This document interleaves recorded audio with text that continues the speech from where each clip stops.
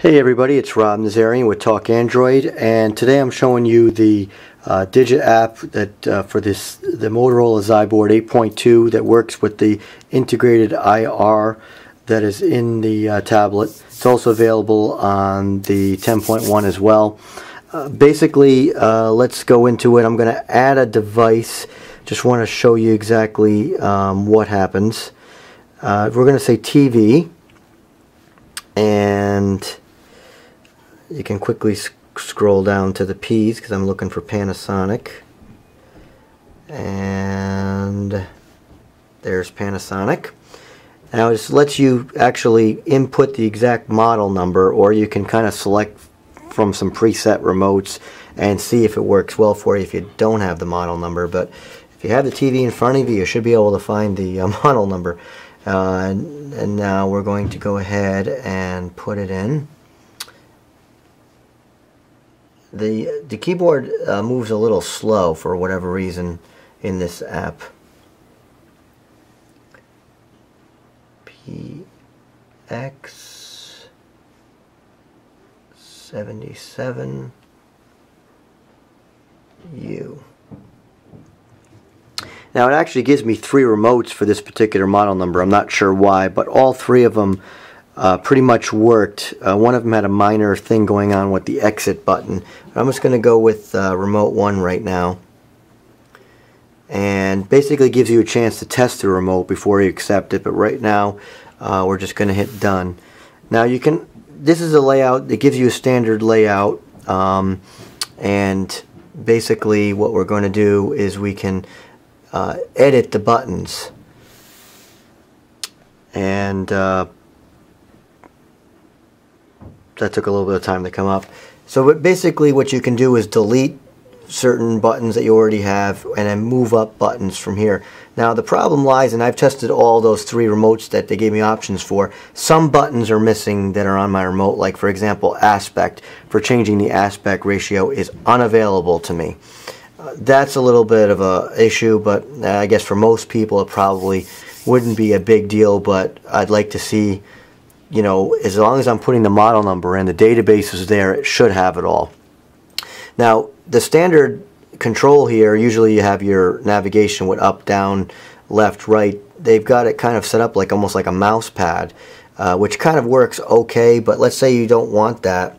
You can get rid of that quickly and then scroll over here um, to the end and you can go with say a D-pad now this is the other problem. Uh, sometimes you can see it doesn't stay with me to move up. It's This is a little bit of, of quirky. Once you get it, once you get it, it, does, it, it works well, but I'm not sure what exactly I'm doing wrong. And see, this is taking a bunch of times here. And I'll probably edit the video just so you don't have to sit and me watch me just fail a bunch of times. Alright, we got it. and I move it right in the center and there it is. So now I have a control pad. Now I'm also going to add um, the back button because I forget in this particular situation if the exit was working because I think I need that. So that's probably going to take a couple of seconds to do as well. Alright there it goes. So I'm going to just put that there for now. But like I said you can even move things around and do all that so basically, that's that's it in a nutshell. Um, let's now go in front of the TV and uh, you know see how it works. Okay, here we are in front of the TV. and I'm just going to test a few buttons because right now I don't control my channels with the TV.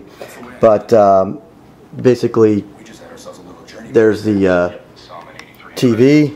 I'm going to just hit the menu button here. And there it goes, it goes right on. So uh, if I hit the um, both back and exit worked worked in this particular situation. It's uh, got a Motorola RAZR MAXX commercial on right there, and the exit button worked. So uh, basically, and then I changed it to a D-pad. There's the menu again. So I'm just going to press down, and you can see the uh, it's going down, and then exit. So basically, it works pretty good. Sometimes you have to hold the button down a little bit but it does work. Now let's do it with, see how the integration is with satellite TV. Alright, so now I've already set up my DirecTV uh, receiver. Um, So I'm not going to have you watch me go through all that, but basically it also gives you the option of setting up different rooms as well. So you can have, whoops, you can have living room and all that good stuff, and you can go from uh, devices, you can select which device to actually operate, and then also the guide. Now, let's just say, uh, for example, um, you want to uh, add an activity so it controls all your devices at once. So you say add an activity and we're going to call this watch TV but you can also do a custom one. So we're going to watch TV and then you can basically select what you want as part of that activity and we want obviously the TV and the DirecTV uh, satellite. And if you have an AV receiver, that could be included as well, or whatever. You can select, select, have other types of things like for watch DVDs or you know or whatever you want to do.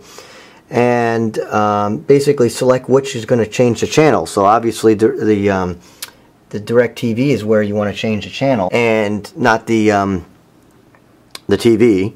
So that's easy. And then you just go and then you can kind of customize your power on and off like for example do you want them both to go off or whatever and then you can quickly save it and now you've got you have an activity. So you can actually control you know control each device separately if you want for more control or just you know go right to watch TV um, whoops I hit the wrong one watch TV so and then of course you can you can go to your guide and quickly see what's on and you know go back and forth uh, but now let's go in front of the TV now and see how it all integrates um, with the satellite receiver.